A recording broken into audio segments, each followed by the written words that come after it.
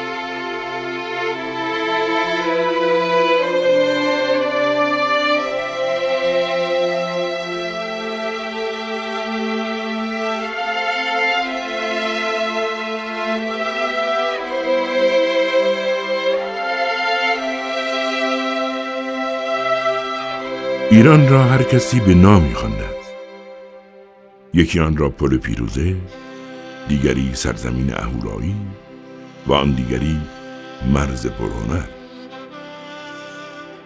همه این نام ها شایستند و دلپذیر اما من که تاریخم دوست دارم ایران را سرزمین پیوندها بخوانم.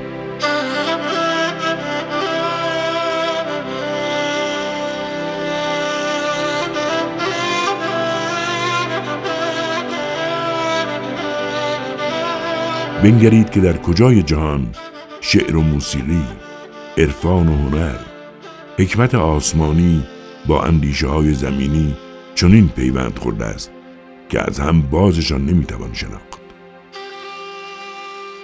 بنگرید که در کجای جهان از چند هزار سال پیش اقوام گوناگون چنین دست در دست یکدیگر نهادند که گویی یک پیکرند و اعضای یکدیگرند. بنگرید که هنرمند کدام سرزمین در گوشه های موسیقی همان معنا را مییابد که سالکش در گوشه دعا. سفالگرش در چرخ سفال همان آواز را میشنود که عارفش از گردش افلاک و معمارش تیمچه و بازار کسب و کار را با همان نیت می‌سازد که رواق و محراب را برای خدا. همه عالم جمال چهره اوست. تا کرا ذوق این نظر باشد؟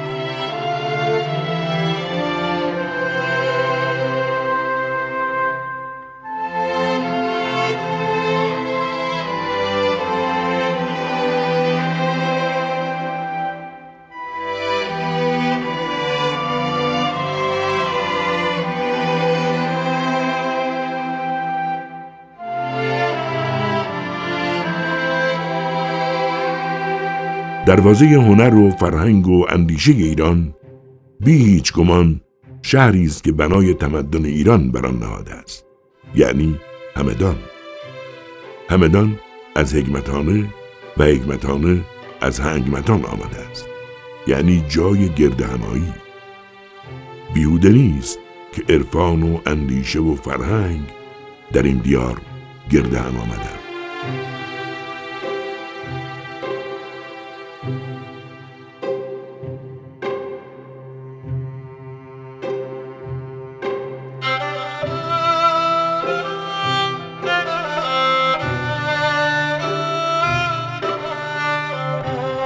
بازار، فرش، ایران واجه است که همزاد هم بودند. من تاریخم. تاریخ این سرزمین نژاده کهن. تاریخ ایران شهرم. و من از آن روز که چشم به روزگار گشودم این سه دوست را با هم دیدم. این سه واژه که گویی از یک مادر زادند. بازار فرش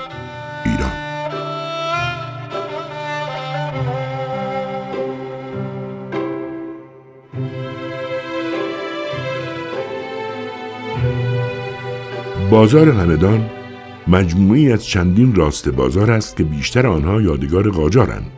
اما هسته بنای بازار را باید از روزگارانی بس دورتر از قاجار دانست. از من بپرسید تا بگویم. از من که تاریخم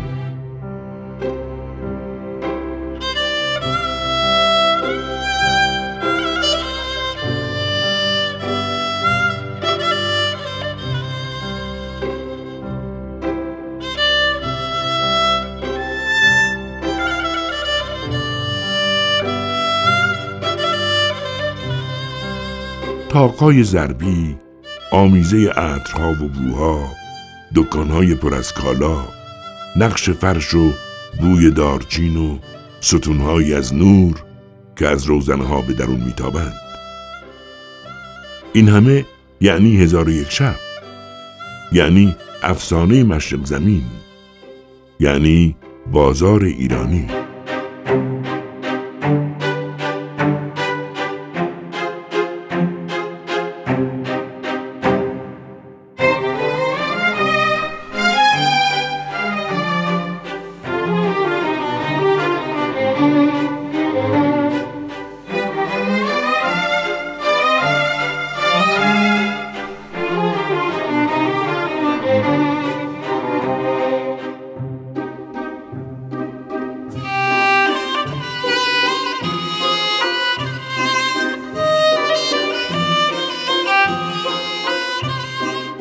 معماری بازار همدان و تاقهای زیبای آن از گذر زمان و مرمتهای نادرست بسیار آسیب دیده است.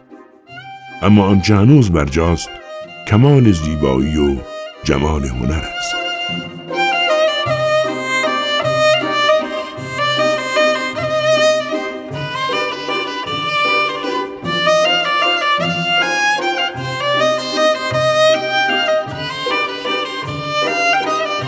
بازار یعنی دو راسته دکان روبروی هم از این تعریف معنای جز خرید و فروش و قیمت گذاری و پول بر نمی آید. اما معمار ایرانی بازار را چنان می ساخت که مشتری خود را در فضای یکسر معنوی و آسمانی می نقش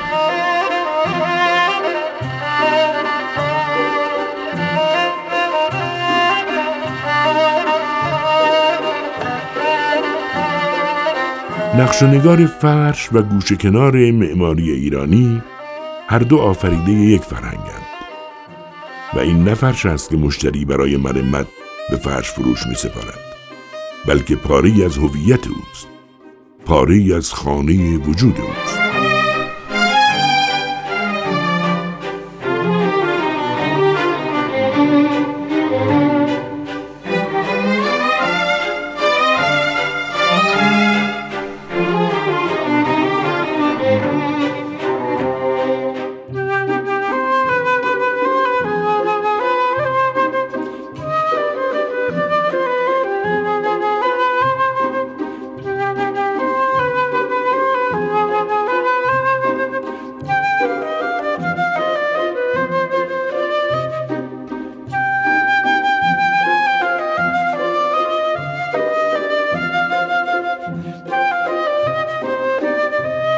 در بازار فرش آنچه بر دوش می‌گیری آنچه میگستری و بر آن پای مینهی و آنچه بر آن دست می‌کشی نرشته های بیجان نخ که نقش سرانگشتان روح ایرانی است. هر نقش آن همچون قنچه نسل به نسل و باغبان به باغبان و دست به دست گشته است تا گلی چنین شکوفا شده است.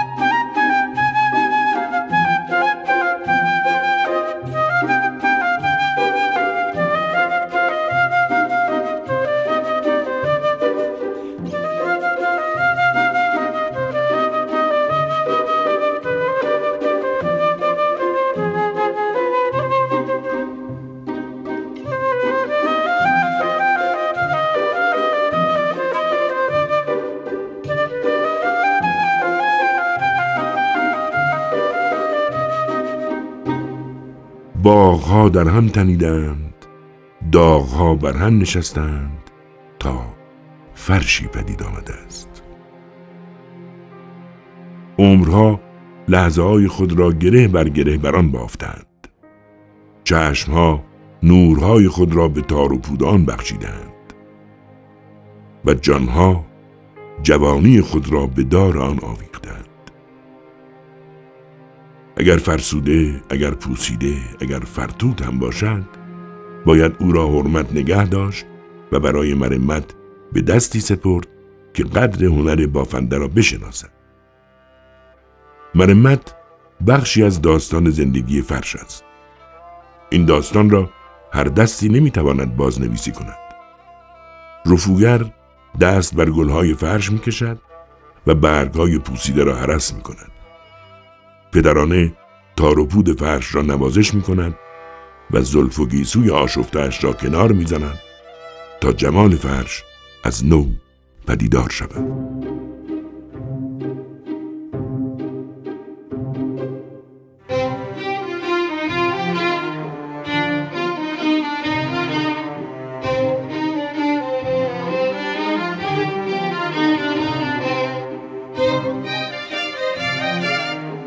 همدان بر سر راه شاهی بود.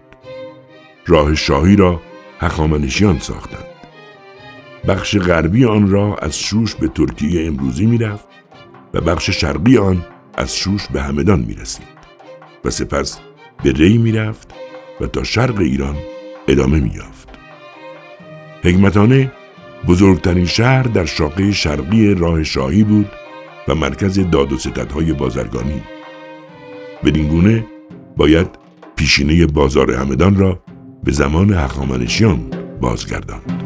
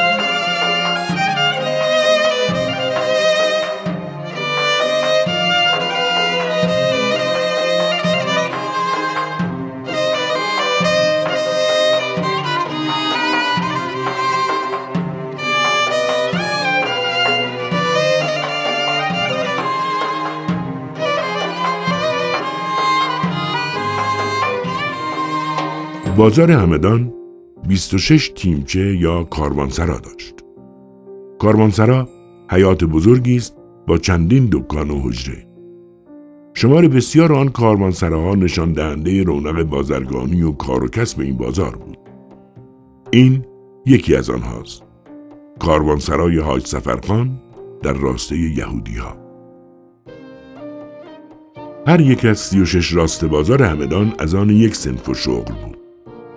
برخی از سنفها اکنون در راسته هایی هستند که در گذشته از آن سنف دیگری بودند. برخی یادآور شغلهایی هستند که دیگر نیست و برخی نیز به نام بانیان و سازندگانشان خوانده می شود.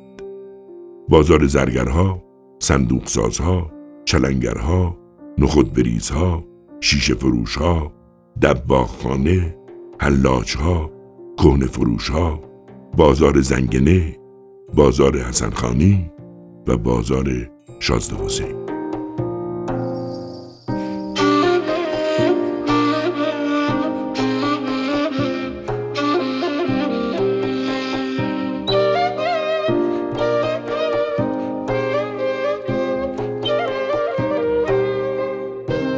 ویلیام جکسون که در زمان مزفر شاه به ایران آمد در سفرنامه خود می نویسد بازارهای همدان بهترین معرف مردم مشرق زمین و وضع بازرگانی شهر است.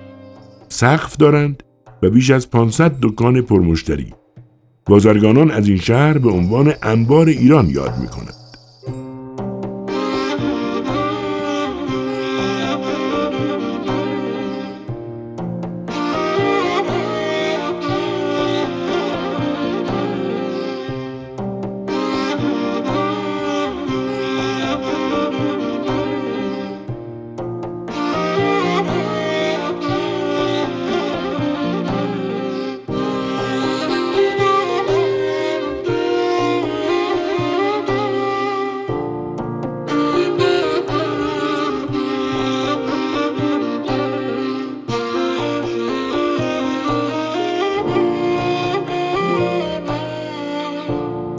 ویلیام جکسون در ادامه سفرنامه خود درباره بازار چرم همدان می نویسد از جمله کالاهای بازرگانی اجناس چرمی را باید نام برد زیرا همدان شهر دباغخانه است و همدانیان در ساختن و پرداختن و عمل آوردن پوست گاو و گوسفند و ساختن کالاهای مفید و اجناس تجملی چرمی شهرند.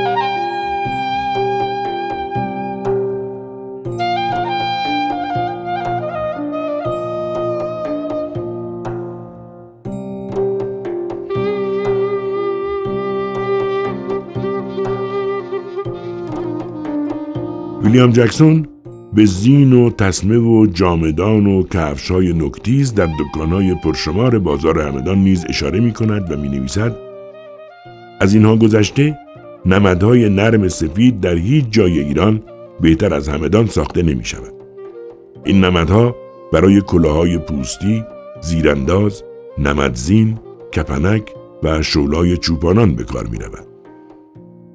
کاروانسراهای مجاور یا متصل به بازار که شمار آنها بیش از پنجاه است در تهیه وسایل و کالاهای مورد نیاز بازرگانان و زوار بیشماری که از این شهر میگذرند در جنب و جوشند و کارشان سخت پر است.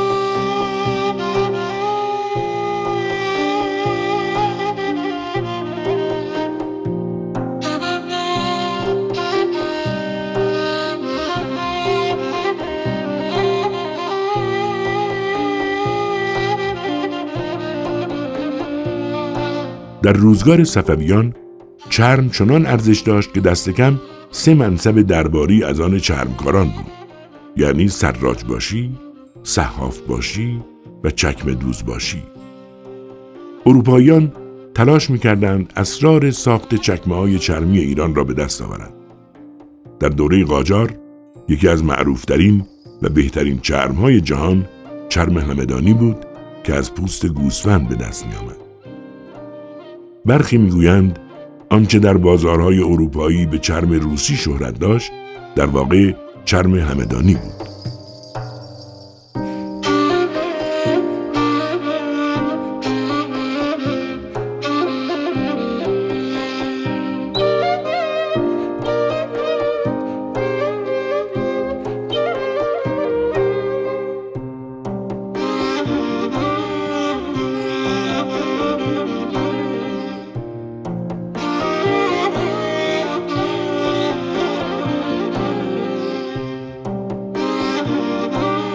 دریغا که کارخانه ای شدن صنعت و نیز ورود بیرویه و ناآگاهانه واردات بسیاری شغلها را از میان برد و بسیاری شغلهای دیگر اگر به خود نیاییم آخرین روزهای خود را سپری می کنند و به سرنوشت شغلهایی چون زهتابی و موتابی و گیوه کشی دچار می شوند.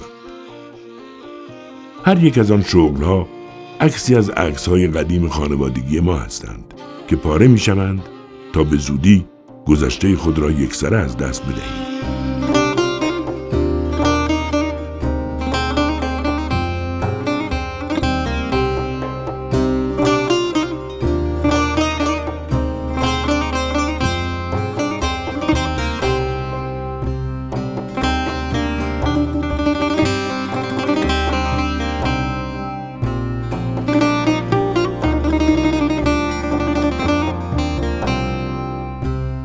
من که تاریخم به یاد دارم که تا صد سال پیش بازار همدان 150 دکان دباغی داشت که حاصل کار آنها به کارگاه های تولید ابزارهای چرمی می آمد تا همه گونه ابزار و وسیله چرمی مانند زین و یراق اسب و کیف و کفش و چکمه و مشک تولید شود.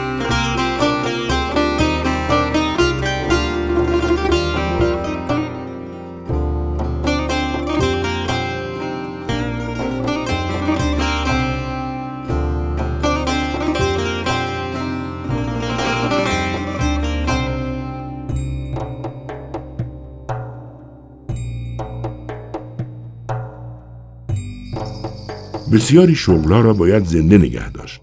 حتی اگر تولیدشان به کار امروزمان نیاید. مانند بنایی کهن که در آن زندگی نخواهیم کرد. اما زندهش نگه میداریم تا ببینند و ببینیم که ما ملت بودیم پیش از آن که بسیاری از ملت های امروز حتی به وجود آمده باشند.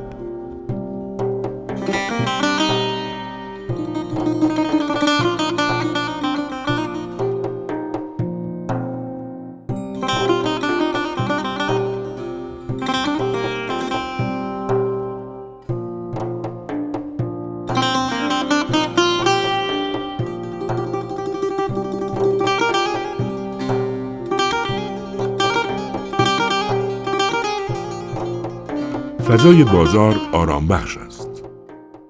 آرام بخشی خصلت جدای ناپذیر همه بناهای سنتی ایران است. اما ایجاد این حس در بازار بسی دشوارتر بوده است. باغ و خانه و کاخ از آغاز برای آرامش ساخته می شدند. اما بازار برای هیاهو، برای خرید و فروش و رفت و آمد و گفتگوی خریدار و فروشنده این هنر شگفت معماران ایران بود که بازار را چنان می ساختند که حتی در شلوغترین ساعتها نیز سقف و در و دیوار آجوری خوشنقش و نگار آن آرامش بخش بود. حتی من که تاریخم آنگاه از گشت و گذار در بازار که خسته می شوم می توانم همچون این خانواده در این گوشه کاروانسرای بزرگ و پر رونق گلچن جایی بیابم که بتوان درنگ کرد و بر تخت نشست و به روزگاران رفته این بازارها اندیشید به آن روزها که ورود کاروانهای پر از بار این کاروانسراها را پر از هیاهو می کرد و به جنب و جوش می افکرد.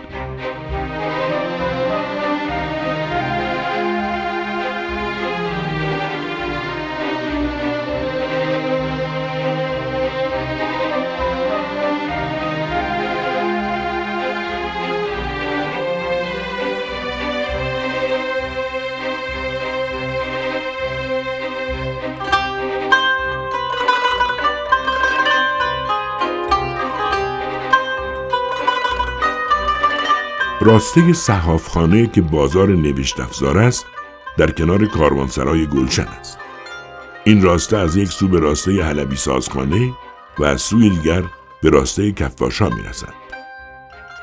مردمباری و مشتری مداری دو ویژگی بزرگ بازار ایرانی بوده است و این دو خصلت را می توان در راستبندی بازارها دید.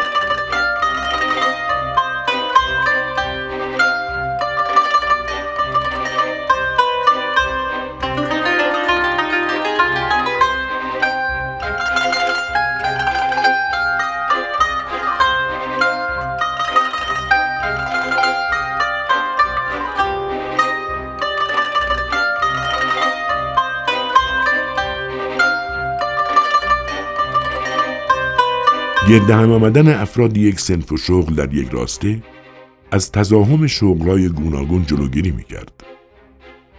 راستبندی بازار اما بیشتر به سود خریدار بود زیرا هم از اطلاف وقت او در یافتن نیازش جلوگیری می‌کرد و هم به او حق انتخاب می‌داد تا بهترین و ارزانترین کارا را برگزیند. مردمواری و مشتری مداری ویژگی اخلاقی پیشینیان ما بود که در قیاب قانونهای اجتماعی به اصول انسانی باور داشتند.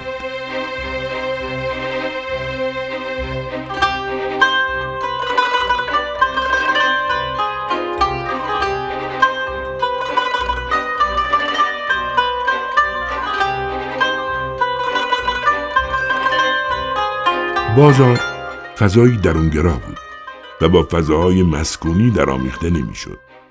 هیچکس در بازار خانه نمی ساخت. کاروانسراهای بازار نیز جایی برای سکونت نداشتند و حجره آنها انبار کالا بود. بازار و زندگی خانوادگی هر یک حرمتی داشتند که نباید با آن دیگری در میآمیخت. درونگرایی بازار چندان بود که برخی بازاریان بزرگ علا رغم داشتن کاروانسرا در بازار خانه ها و مهمانسراهایی در بیرون بازار و در محله های دیگر داشتند و بازرگانانی که از شهرهای دیگر برایشان کالا می آوردند به آن خانه ها می بودند.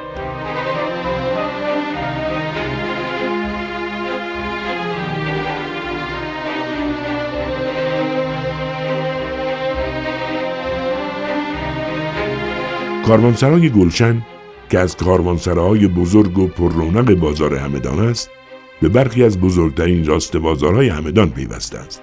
مانند راست بازارهای صحافخانه، قیصریه، کفش دوستخانه بزرگ و کوچک و نمدمالها. این کاروانسرا هم تجاری بود و هم کاروانی. حجره طبقه پایین آن برای عرضه کالا بود و حجره های طبقه بالا برای خواب و استراحت کاروانیان. کاروانسرای گلشن نه از روزگار قاجار بلکه از دوره صفویان به یادگار مانده است.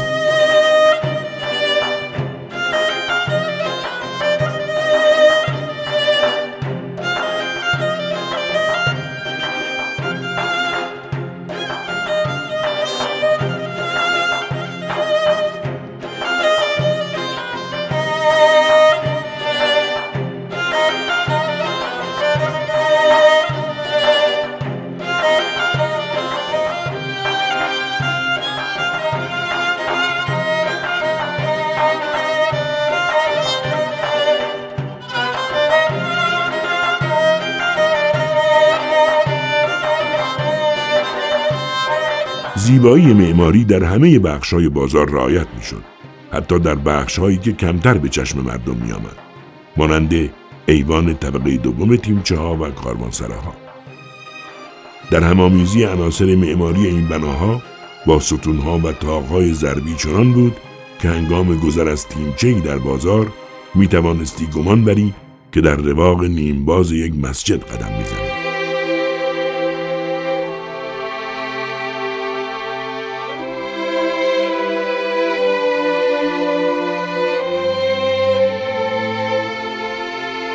آجرچینی های سقف بازار در دایره مرکزگرای خود نشان دهنده کسرتی است که در چرخش خود به وحدت مرکزی روزنه می رسد.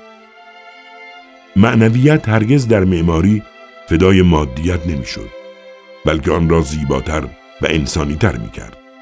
همچنان که مادیت فضای کسب و کار ارزشهای خود را در برابر زندگی معنوی از دست نمی‌داد. این جادوی فرهنگ ایران بود که پیوسته پری می‌زد بین چشم و دل. جادویی که خرد را احساس پرست می‌کرد و احساس را خردمندانه. زیبایی را کارآمد میساخت و کارآمدی را زیبا. و سرانجام خیالها را واقعیت میبخشید و واقعیتها را خیالآمیز می‌کرد.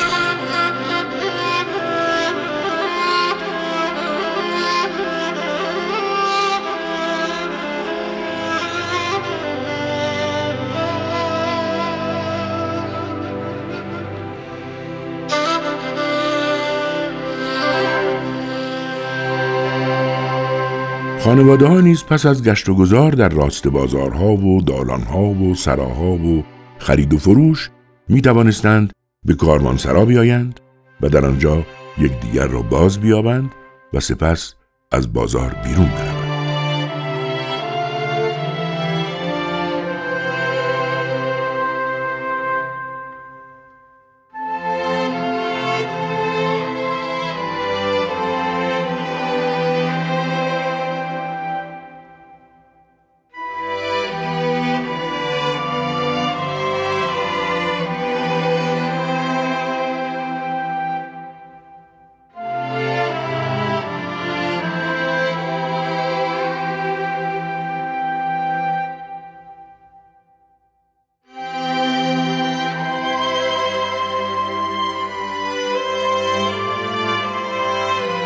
همدان هنگمتان بود یعنی جای گرد همایی قبیله های هفتگانه ماد بیگمان در کنار آن گرد های بزرگ بازارهایی شکل می گرفته است. کسی چه می داند؟ شاید همین بازار یا نزدیک آن جای گرد آمدن سران ماد بوده است. شاید جایی در همین جا در همین نزدیکی آغاز سرگذشت هزاران ساله ایران بوده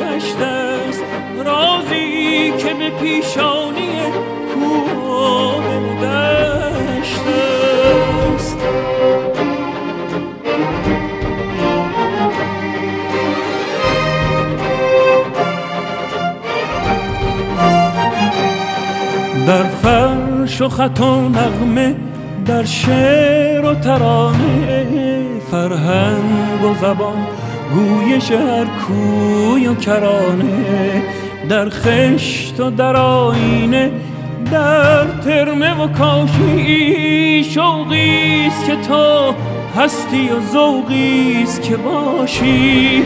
ایران من ای ریشه من برگ و بر من. نام تو تاریخ پر است از اثر من. ایران من ای عشق من ای دار و ندارم. جان از تو گرفتم به که جز تو بسپارم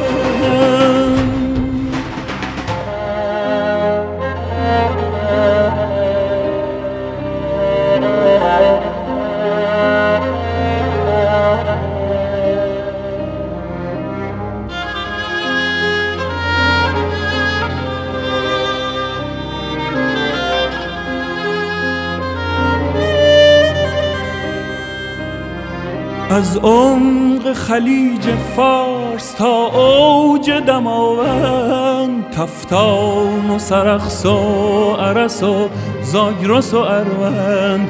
هر قوم وطن صف شکن روز مباداست نام تو خروشانی و آرامش دریاست. ایران من ای ریشه من برگ و بر من. پر است از اثر من بیراه منه.